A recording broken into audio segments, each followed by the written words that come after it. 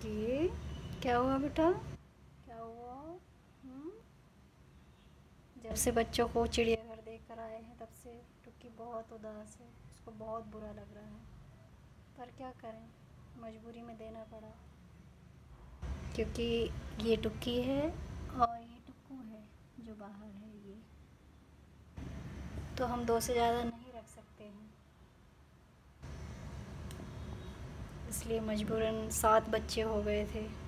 वैसे काफ़ी बड़े हो गए थे। वो अकेले रह सकते थे, खाना भी खाने लगे थे। पर माँ तो माँ होती है।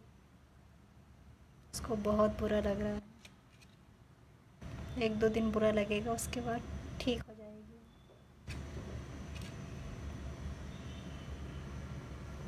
टुकू, क्या कर रहे हो?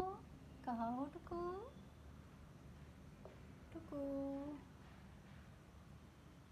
टुकू ये आ गया टुकू